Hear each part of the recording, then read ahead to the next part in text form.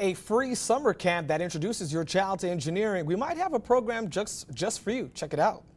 Calling all incoming 9th, 10th, and 11th grade students, it's time to take off. Benedict College is helping to host the Summer Transportation Institute.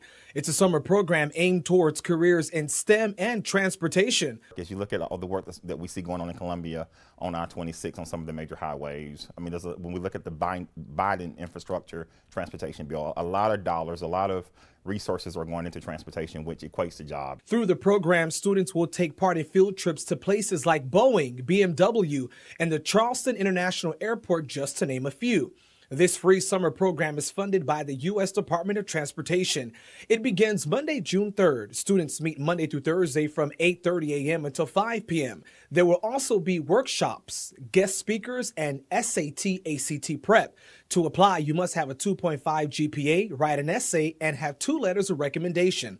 For more information, visit our website at wach.com.